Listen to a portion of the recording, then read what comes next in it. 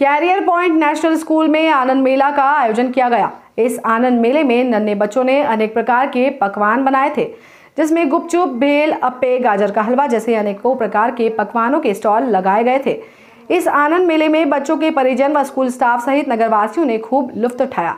इस आनंद मेले का शुभारंभ नगर पंचायत सीएमओ के हाथों रिबन काट कर किया गया। इस कार्यक्रम में कक्षा छठवीं से कक्षा ग्यारहवीं के बच्चों ने भाग लिया था। तो वहीं नन्हे बच्चों के हाथों बने पकवानों का नगरवासियों ने खूब तारीफ़ किया और यह कार्यक्रम देर शाम तक चलता रहा। इसी बीच आनंद मेले में पहुँचे अतिथियों का पुष्प गुच्छ से स्वागत किया गया। आनंद मेले का आयोजन में स्कूल के छात्र छात्राओं ने विभिन्न प्रकार के खाने पीने के स्टॉल लगाए थे। वहीं career point national school director ने कहा कि आनंद मेले का छात्र छात्राओं को साल भर से इंतज़ार रहता है। आनंद मेले में विद्यार्थियों को आनंद लेने के साथ साथ सीखने का अवसर भी प्राप्त होता है।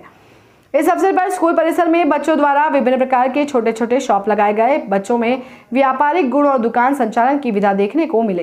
वहीं बच्चों ने बताया कि वह गोलगप्पे की दुकान में साढ़े चार सौ से अधिक कमाई की। वहीं कैरियर पॉइंट स्कूल के द्वारा आयोजित इस आनंद मेले में सैकड़ों की संख्या में लोग उपस्थित रहे और यह मेला देर शाम तक चलता रहा। Bureau report.